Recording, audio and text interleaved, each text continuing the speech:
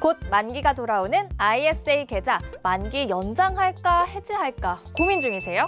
만기 연장하면 납입 한도와 비과세 혜택은 늘어나진 않지만 세금 납부 시기를 미룸으로써 과세 이연 효과가 있죠. 금융기관의 MTS 등을 통해 쉽게 연장할 수 있습니다. 해지하고 ISA로 재가입하면 ISA의 납입 한도와 비과세 혜택을 다시 한번 받을 수 있습니다.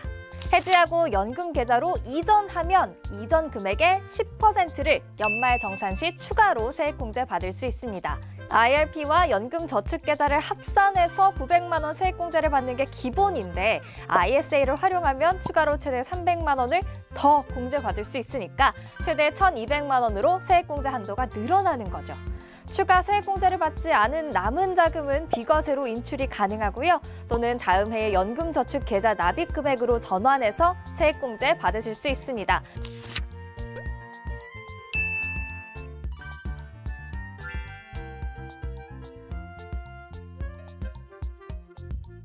단, ISA 계좌 만기 해지 후 60일 이내에 이전 신청을 해야 하니까 이 점 꼭 체크하세요.